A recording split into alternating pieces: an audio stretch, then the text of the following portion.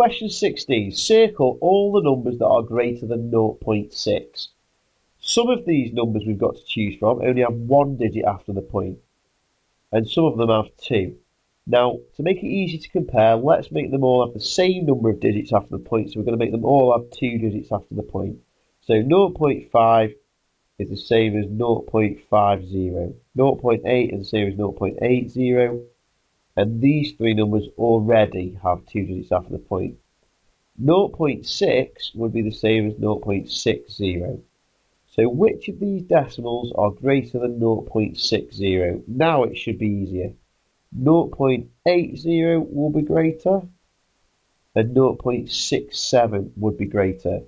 You could actually think of it in terms of money. 0.60 would be the same as 60 pence.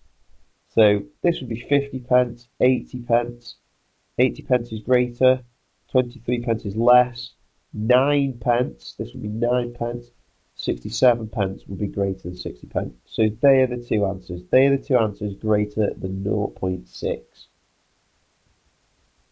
Be careful that you don't make the mistake of thinking that 0.09 is greater than 0.6. Yes, 9 is greater than 6, but it doesn't say 9. It says 0.09. And if you look at your column headings, this is tenths and this column is hundredths. So this means no units, no tenths, and 9 hundredths. This means no units, 6 tenths, and no hundredths and 0.60 is bigger than 0.09.